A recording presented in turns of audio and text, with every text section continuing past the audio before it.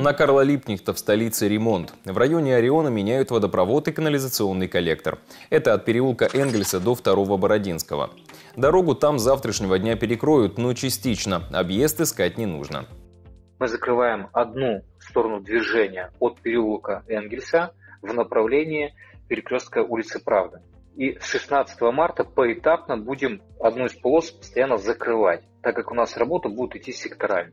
Менять трубы будут до 16 марта. После дорогу отремонтируют.